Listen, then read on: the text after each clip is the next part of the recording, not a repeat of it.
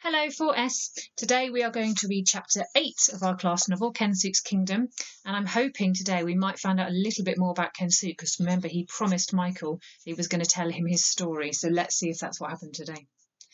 Chapter 8 Everyone Dead in Nagasaki. I was overjoyed. I had found a part of me that I thought I'd lost forever.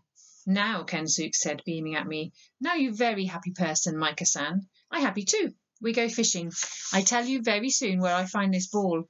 Very soon I tell you everything. Little fish not good now, not so many. We need big fish sometimes from deep sea. We smoke fish, then we always have plenty fish to eat. You understand? The outrigger was a great deal heavier than it looked. I helped Kensuke drag it down the beach and into the sea. This very good boat, he said, as we lifted Stella in. This boat never go down. I make myself very safe boat.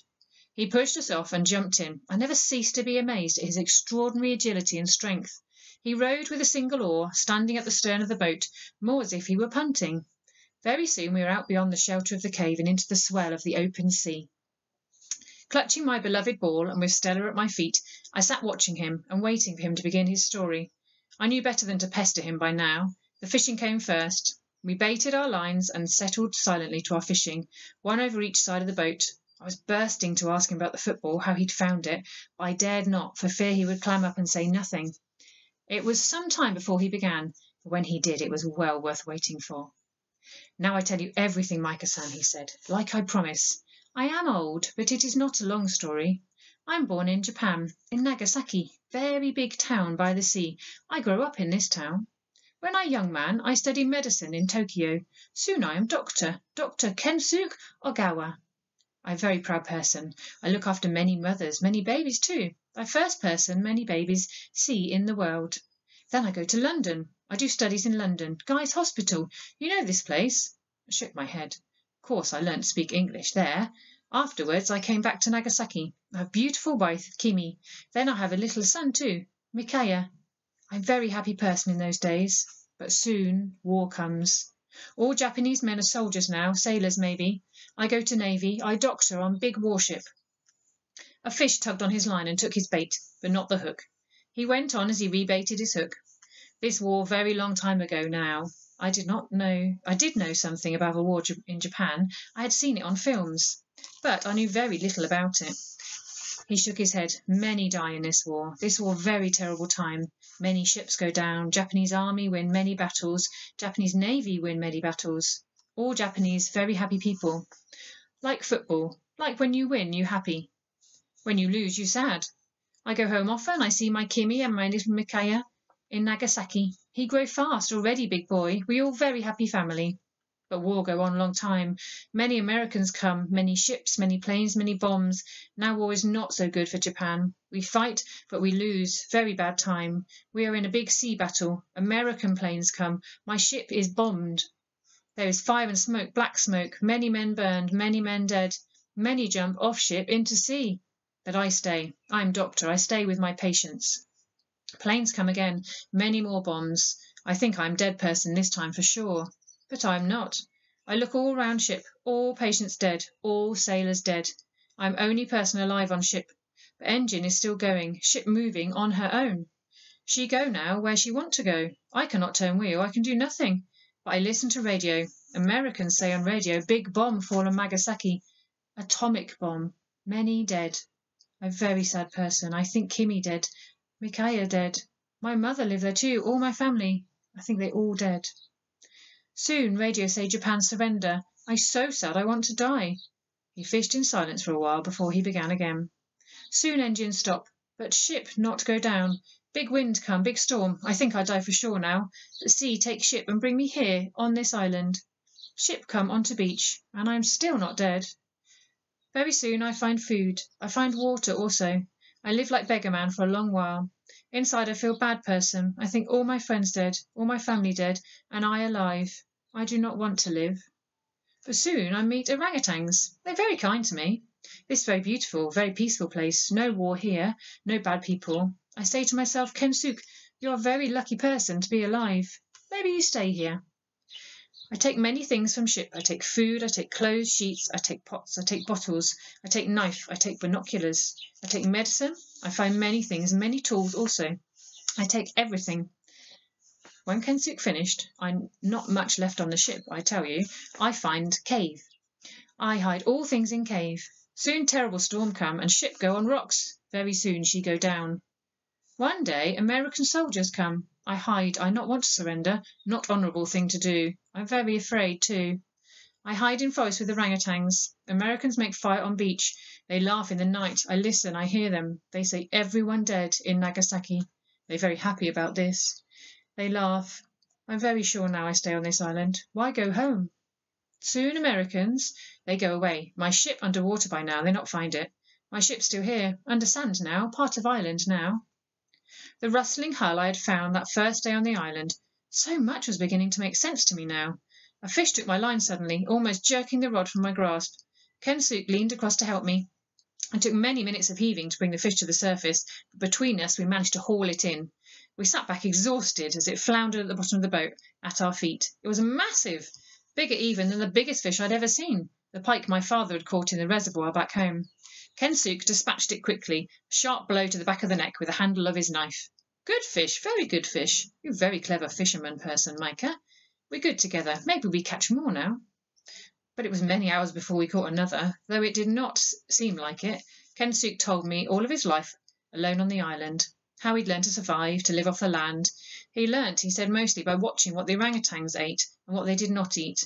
He learnt to climb as they did. He learnt to understand their language, to heed their warning signals, the darting eyes, the nervous scratching. Slowly he built a bond of trust and became one of them. By the time we made for home that evening, with three huge fish at the bottom of the boat, tuna I think they were, his story was almost finished. He talked on as he rowed. After Americans, no more men come to my island. I alone here many years. I not forget Kimi, I not forget Micaiah, but I live. Then year ago, maybe, they come. Very bad people, killer men, they have guns. They hunt, they shoot. I sing to my orangutans. They come to me when I sing. They are very frightened. They all come in my cave. We hide. Killer men not find us. But in forest they shoot. You told me name. Gibbon monkeys. They shoot mothers. They take babies. Why must they do this? I'm very angry. I think all people killer people. Hate all people. I think I not want to see people again. Then one day I need big fish to smoke. I go to this fishing boat. Wind blows wrong way. I go far out, sea pulling me away very strong. I try to come back to my island. It is no good. I am old. Arms are not strong. When night come, I am still far away. I'm very frightened. I sing. It make me brave. I hear shout. I see light. I think, I dream. Then I hear another song in sea, in dark. I come quick as I can. I find you, and Stella, and Ball. You very nearly dead person, Micah-san. Stella very nearly dead dog. So it had been Kensuke who had pulled me from the sea. Kensuke who had saved me. It had simply never occurred to me. In morning he went on.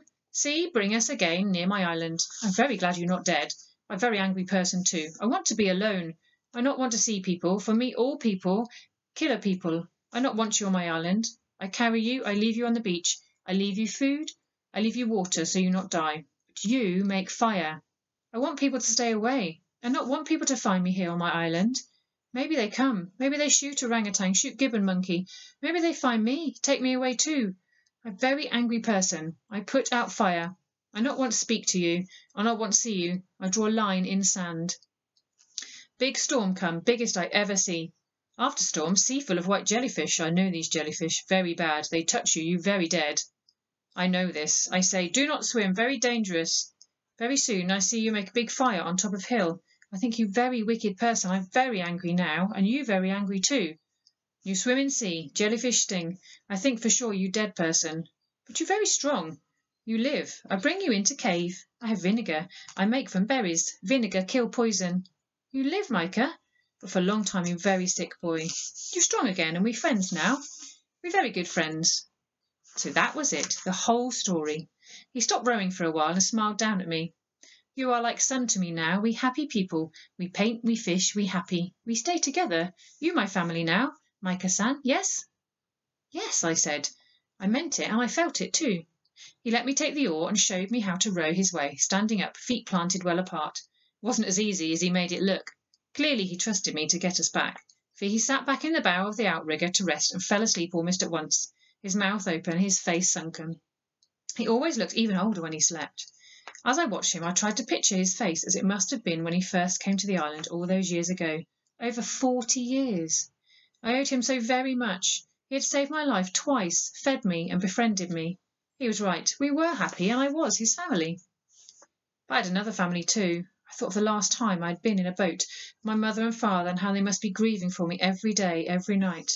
By now they must surely believe I had drowned, that there was no chance I could be alive. But I wasn't drowned. I was alive. Somehow I had to let them know. As I struggled to bring the outrigger back to the island that afternoon, I was filled with a sudden, powerful longing to see them again, to be with them. I could steal the boat, I thought. I could row away. I could light a fire again. But I knew, even as I thought it, that I could not do it.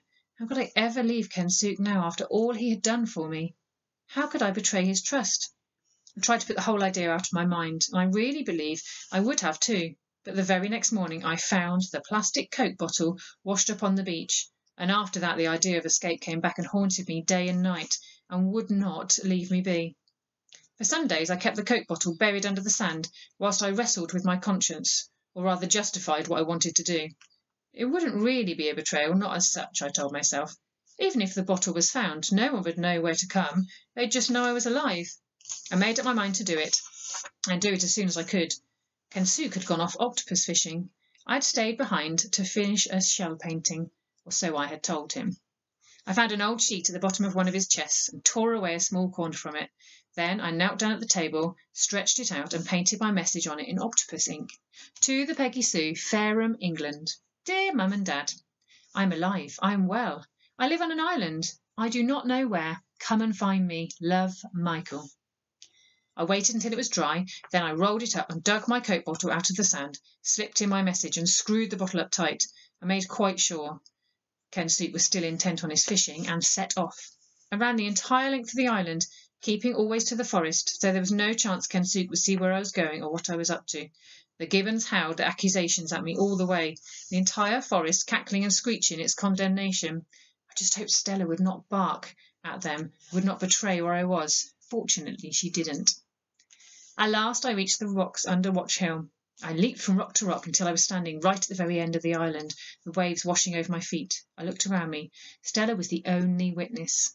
I hurled the bottle as far out to sea as I possibly could. Then I stood and watched it as it bobbed away and out to sea. It was on its way. I didn't touch my fish soup that night. Kensuke thought I was ill. I could hardly talk to him. I couldn't look him in the eye. I lay all night in deep torment, racked by my guilt, yet at the same time still hoping against hope that my bottle would be picked up. Kensuke and I were at our painting the next afternoon when Stella came padding into the cave. She had the Coke bottle in her mouth. She dropped it and looked up at me, panting and pleased with herself. Kensuke laughed and reached down to pick it up. I think he was about to hand it to me when he noticed there was something inside it. By the way he looked at me, I knew for sure he knew at once what it was. Oh dear, that's the end of the chapter for today. I wonder if Kensuke is going to forgive Michael. Right, I will see you tomorrow.